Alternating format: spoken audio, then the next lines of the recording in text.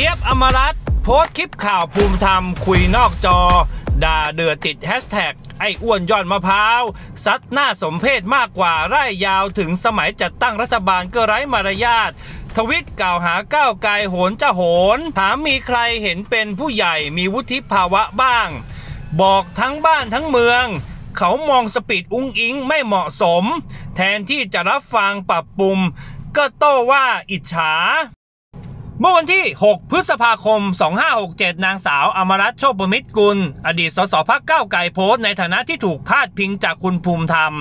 ที่คุยว่าตัวเองเป็นผู้ใหญ่และกำลังถูกอิจฉานั้น ดิฉันขอถามว่ามีใครเห็น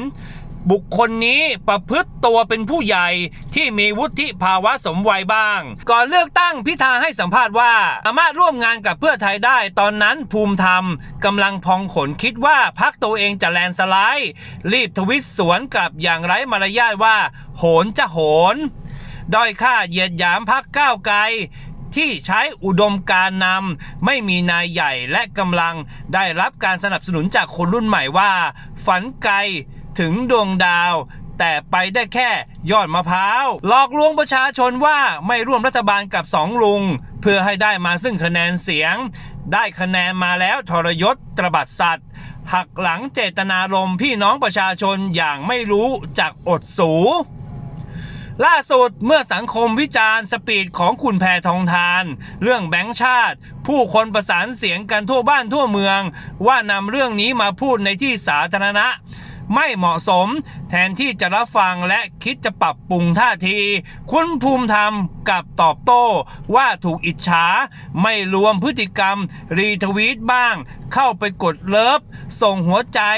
ให้กับบัญชีนางแบกนางบิดที่ใส่ร้ายป้ายสีพักคู่แข่งหยาบหยาบคลายๆ ในทวิตเตอร์อย่างสม่ำเสมอ และที่เจ้าตัวทวิตเองจำนวนมาก ก็แสดงตัวตนออกมาชัดเจนว่าไม่มีอะไรสมวัย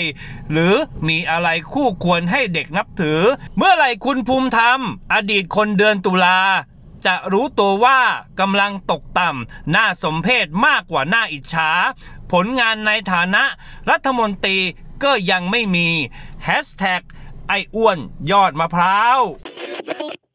Music.